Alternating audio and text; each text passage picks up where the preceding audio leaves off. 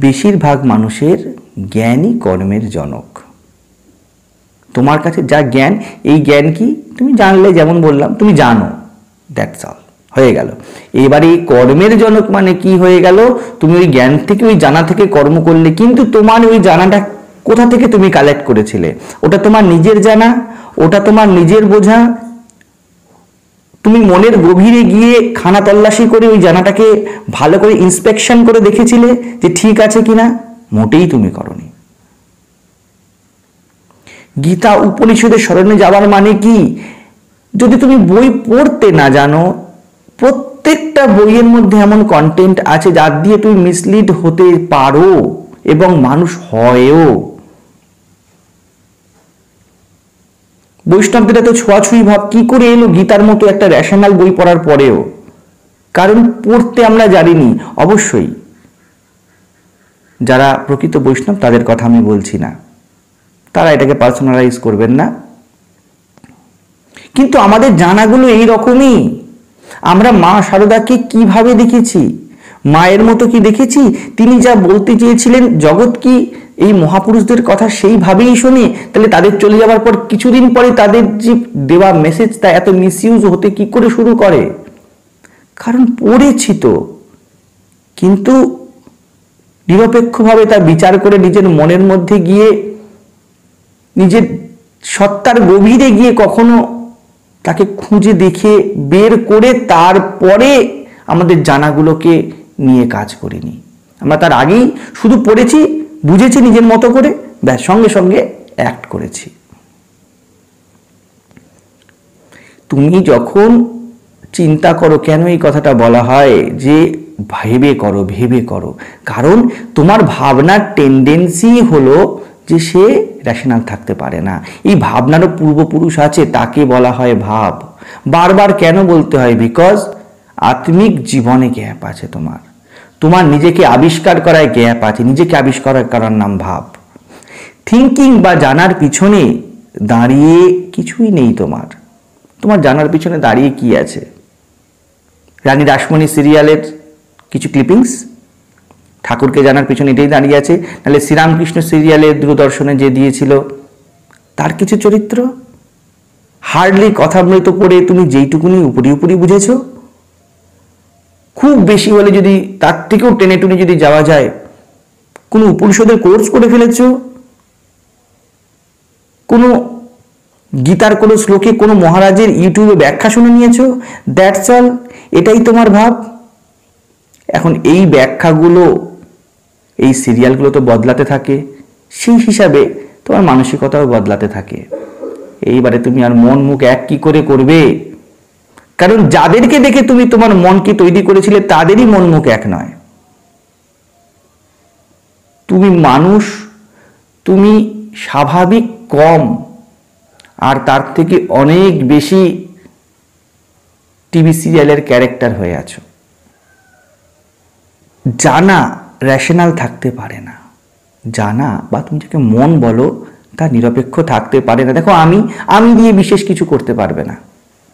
গাছ, নাম, ঘর, তুমি এইসব বিভিন্ন জিনিস রিলেশনশিপস তুমি জানলে, এবার এবারের ইউটিলিটিকে ডিসাইড করবে। ইউটিলিটি ডিসাইড করবে তুমি কি কি জেনেছো তা নয়, তুমি কীভাবে জেনেছো তা, কীভাবে জানবে? এর পিছনে দাঁড়াতে হয় একটা গার্জেনকে তাকে বলে, ভাব আমি, তুমি যাকে আমি আমি বলো, এর প্ল্যাটফর্ম নর্মালি কীরকম জানো? প্রাকৃতিক, শারীরিক। সেই জন্য তাকে বলা হয়েছে অশুদ্ধ। অশুদ্ধ মানে? অশুদ্ধ মানে কি নোংরা? অশুদ্ধ মানে তা নয়। আহার, নিদ্রা, মৈথুন, এটা শরীরের ধর্ম, প্রাকৃতিক ধর্ম।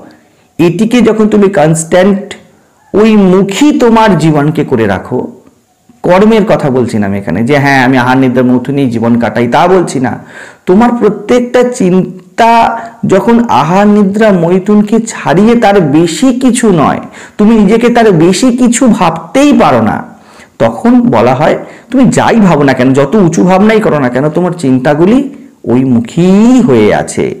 এটাকে অশুদ্ধ বলেছ। কেন অশুদ্ধ সে আর বলতে হবে না। অশুদ্ধ।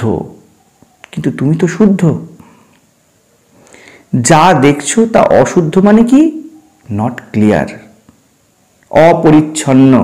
অর্থাৎ পরিচ্ছন্ন নয়, পরিষ্কার নয়, খুব সিম্পল হেজি যখন তোমার এই জানাগুলো হেজি থাকে এবং তার থেকে তুমি অ্যাক্ট করতে শুরু করো, সে তুমি শাস্ত্র জানতে পারো, সে তুমি জগৎ জানতে পারো। কিন্তু জানার গভীরে তুমি যাওনি, তোমাকে দশটা প্রশ্ন করলে তুমি এগারো নম্বর প্রশ্ন গিয়ে আটকে যাও মানে মানে করতে থাকো, অর্থাৎ অশুদ্ধ। এইবার তুমি জীবন তো এগিয়ে দাঁড়িয়ে যা থাকছে না। জীবন এগিয়ে চলেছে, তুমি কনস্ট্যান্ট অ্যাক্ট করে যাচ্ছ। তুমি এই অশুদ্ধ, অপরিচ্ছন্ন নট ক্লিয়ার এই জায়গা থেকে অ্যাক্ট করে যাচ্ছ। একে বলা হয়, তোমায় উপনিষদ বলছে, শাস্ত্র বলছে, তুমি শুদ্ধ সিদ্ধান্ত বিশ্বে অমিতাস্য পুত্রা। সব ঠিক আছে, তুমি অমৃতের সন্তান। কিন্তু এই আমি কিসের উপরে আশ্রয় হয়ে আছে দেখো? তোমার মনের রাজা কাকে বানিয়ে রেখেছো দেখো? গীতা তুমি পড়েছো হয়তো, উপনিষদও পড়েছো, রামকৃষ্ণ কথামৃত তুমি পড়েছো, স্বামীজির বাণীও হয়তো তুমি পড়েছো। কিন্তু মনের রাজা কাকে বানিয়ে রেখেছো? এগুলি কি তোমার মনের রাজা হয়ে গেছে? জীবনের সম্রাট কাকে বানিয়ে রেখেছো? এগুলি কি তোমার জীবনকে একবার করে নিয়েছে? তা তো হয়নি। এবারে তুমি অ্যাক্ট করছ। তুমি অনেক কিছু জানো। তুমি কি জানো সেটা আমাকে বলতে এসো না। বরং তুমি কীভাবে কি আন্ডারস্ট্যান্ডিং নিয়ে জীবন কাটাচ্ছ এইটা আমাকে দেখাও। তুমি এই আমি যেদিকে ঘোরাবে, তোমার যে আমির, যে ভাবনা, চিন্তা, তুমি ভাবো, তুমি ওঠো, তুমি বসো, তুমি খাও, তুমি চলো, এই যে আমি, এই আমি তুমি যেদিকে ঘোরাবে, সেই দিকেই তুমি কিছু না কিছু দেখতে পাবে। কিন্তু আমি চোখে লেন্সটা কিসের আছে? ঠাকুর, এটা কি বলেছিলেন? লাল চশমা দিলে লাল দেখবে। তোমার জগৎ কি এরকম লাল? তুমি কি জগতের, ধরো তুমি চশমা দিয়ে দেখছ, এটা লাল রঙের চশমা। এই লাল রঙের চশমা দিয়ে জগৎকে দেখার মানে কি? জগৎ কিন্তু তোমার সামনে তুমি যা যা দেখছ, বিভিন্ন ভাব তোমার মনে উঠছে। একে বলে জ্ঞান শক্তি কিন্তু এটা কি কোনো একটা নির্দিষ্ট রঙে রেঙে গেছে? ঠিক যেমন মীরা রেঙে গেছিল ঠিক যেমন মহাপ্রভুর রেঙে গিয়েছিল, ঠিক যেমন স্বামীজি রেঙে গিয়েছিল। এই লাল রঙের আভাকে বলা হয় ভাব। তোমার জীবনে এমন কোনো আভা এখনও পর্যন্ত ধরে যায়নি। তোমার জীবনের লেন্স এখনও স্বাভাবিকভাবেই জগৎকে দেখছে। আগেও যেমন দেখছিল, এই জায়গাটা ভালো করে বোঝো। সাধারণ মানুষের লেন্স জগৎকে দেখে তোমার লেন্সও জগৎকে দেখছে, শুধুমাত্র এই লেন্সে অ্যাডিশন হয়েছে কিছু বই পড়া। কিন্তু ওই বই পড়ে তুমি কি কোনো লাল রং আবিষ্কার করে ফেলতে পেরেছ? যেই লাল রংটা তোমার জীবনকে পূর্ণভাবে ঢেকে দিয়েছে? তা যদি না দেয়, তোমার ভাবের ঘরে চুরি তুমি যা বলছো হতে বাধ্য। তোমার কপটতা আসতে বাধ্য। কারণ তোমার সত্তা অকপট। এবং তুমি যেভাবে জগৎকে দেখছ, যেই যেইভাবে তুমি এই তোমার জানাগুলোকে কুড়িয়ে এনেছো চারিদিক থেকে, তার মধ্যে কপটতা ছাড়া আর কিছু নেই। এই দুটোর মধ্যেই সমস্যা সৃষ্টি হয়। আমাকে অনেকেই বলে টেকনিক্স যার এই লেন্স শুদ্ধ নয়, যার এই লেন্সের কোনো রং ধরে যায়নি, যার রামকৃষ্ণের মতো জগৎ মাময় হয়ে যায়নি, সে টুকরো টুকরো কিসে কিসে মাতৃত্ব আরোপ করে ফিরবে?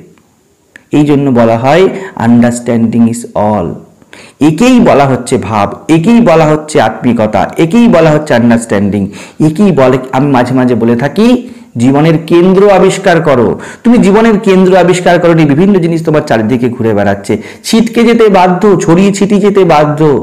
জীবনটা চারিদিকে ছড়িয়ে যাবেই তোমার। আমাকে বলে সলিউশন চাই। আপনি বলছেন বটে, কিন্তু সলিউশন কোথায়? কথা গোল গোল ঘুরছে। কথা গোল গোল ঘোরানোই তো কাজ। ভাবনা, তোমার চিন্তা যাবতীয় জিনিসটা একটাকে সেন্টার করে ঘুরবে। এই সেন্টারের নাম হলো ভাব। এবং উপরি উপরি ঠুনকোতে সক্ষ শান্ত, দাস্য, বাৎসল্য বলে তুমি জীবনটা এভাবে কাটাতে পারো না। এগুলি উঁচি লোক উঁচি পছন্দ, অনেক বড় কথা।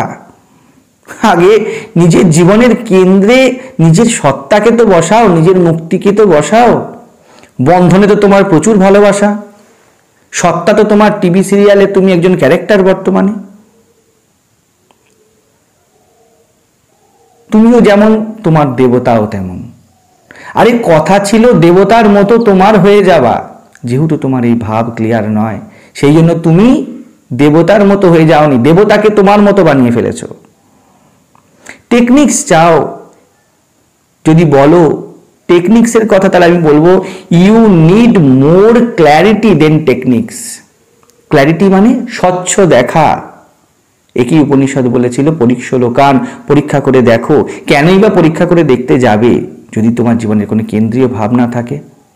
যদি তোমার পরীক্ষায় পাশ করার উদ্দেশ্যই না থাকে, এবং একটা হায়ার গোলই না থাকে পাশ করার পরে তাহলে কোনো মানুষ কি পরীক্ষাতে আদৌ বসতে রাজি হয়? এই যে উচ্চ আদর্শ, উচ্চ উদ্দেশ্য, একে বলেছে ভাব। ব্লি, তুমি টেকনিক্সের কথা বলো তো। ক্ল্যারিটি, স্বচ্ছ দেখাই হলো টেকনিক্স। ফার্স্ট টেকনিক, পরিষ্কারভাবে দেখতে শেখো। তা শাস্ত্রকেই হোক, তা জগৎকেই হোক।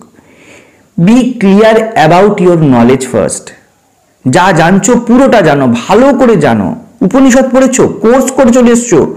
আরে, সতের সঙ্গ করতে হয়। সৎকে চুকিয়ে দিতে নেই, মিটিয়ে দিতে নেই। আমরা বিভিন্ন আশ্রমে গিয়ে কি করছি বলে? আমি মেডিটেশন ক্লাস করছি।